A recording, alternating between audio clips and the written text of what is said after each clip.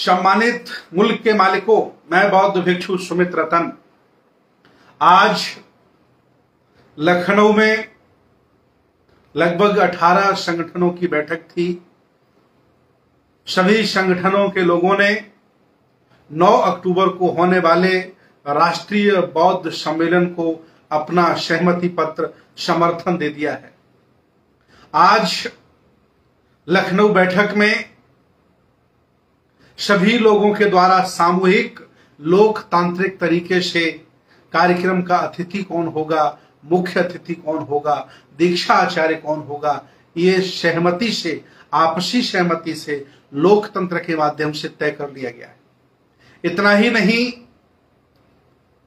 ये तय हुआ है कि कम से कम 20 लोगों की एक कोर कमेटी बना दी जाए और जो सारे कार्य करके, अन्य लोगों से संपर्क करके रिपोर्ट हमें करे। ऐसा भी आज तय हो गया है।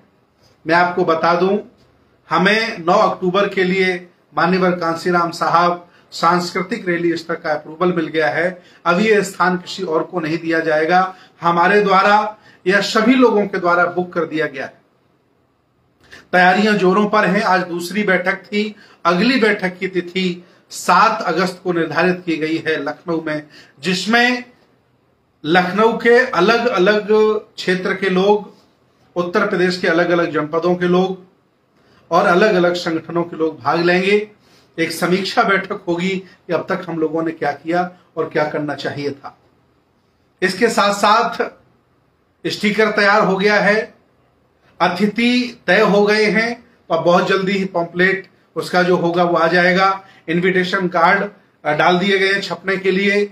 हमारे द्वारा पंपलेट पोस्टर के साथ साथ पंसील के झंडे, छोटे झंडे, बड़े झंडे पंसील की लड़ियाँ और पंसील के पट्टे, इनका लगभग एक लाख से ज़्यादा का ऑर्डर कर दिया गया है।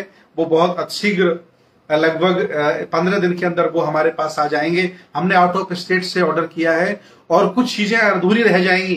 तो स्थानीय जो हमारे पुस्तक विक्रेता हैं बहुजन साहित्य वाले लोग हैं, इनसे ले ली जाएगी। क्योंकि जिस जो मात्रा में हमें धम्म प्रचार की सामग्री चाहिए थी, वो स्थानीय लोग नहीं मुहैया करा पाए। इसलिए बड़े लेवल पर हमने उसकी प्लानिंग की। इसके साथ साथ बड़ा कार्यक्रम है, एक व्यक्ति नहीं कर सकता है।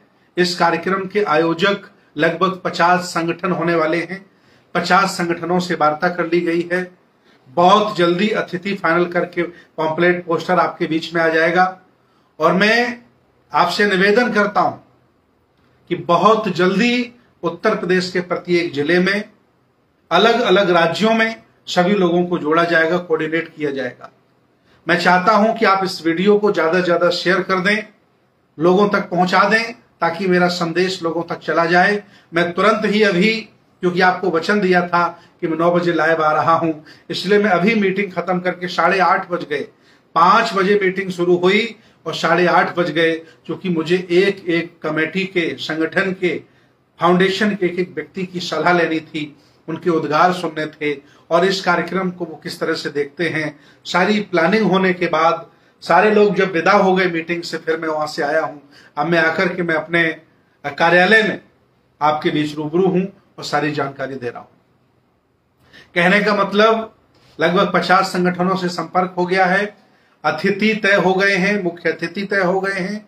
बहुत जल्दी उत्तर प्रदेश की सरकार के लखनऊ प्रशासन से परमिशन की प्रक्रिया की टीम बना दी गई है। सब काम चल रहा है, तेज़ी से चल रहा है।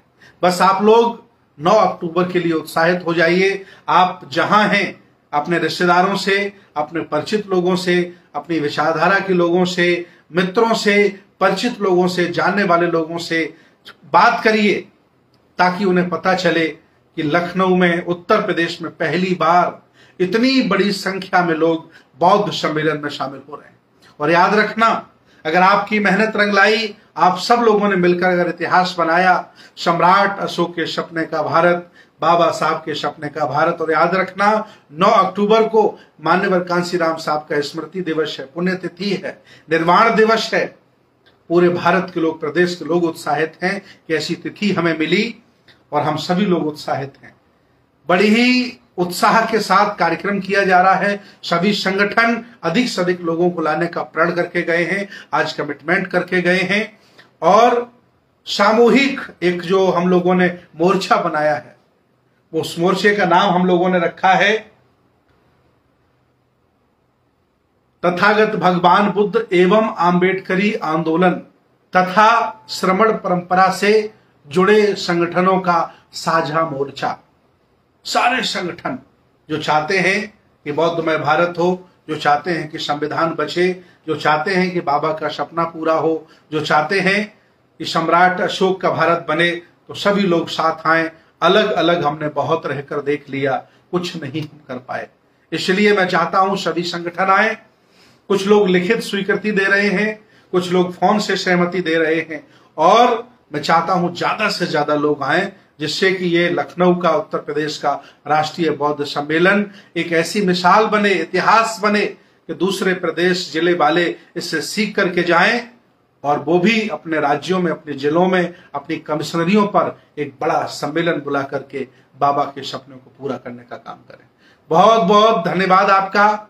बहुत बहुत साधुवाद आपका। कि आप लोगों ने मेरे संदेश को सुना और मुझे आशा ही नहीं बल्कि पूरा विश्वास है कि आप इस संदेश को शेयर करेंगे, लोगों तक पहुंचाएँगे। क्योंकि मैं बहुत व्यस्त हूँ, मुझे अभी जूम बैठक करनी है और जूम बैठक के लोग इंतज़ार मेरा कर रहे हैं। लैपटॉप पर वो लोग आ चुके हैं। क्योंकि जूम बैठक में आज तय करना है कि क्या क्या ज़िम्मेदारी है और जो हमारी कोर कमेटी है वो कैसी होगी। ये सारे आज निर्णय हम लोगों को रात के बारह बजे तक लेने हैं, ताकि कल हमारी प्रक्रिया आगे, कल और बहुत सारे काम हैं।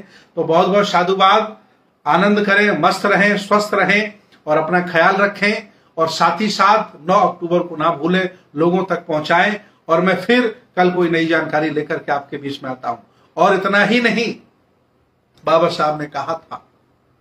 क्या कहा था? कि लोकतंत्र में जब भी हम नायक पूजक हो जाते हैं तो बुरे दिन आने लगते हैं। हम सब लोगों ने नायक पूजा का मार्ग प्रशस्त कर लिया था।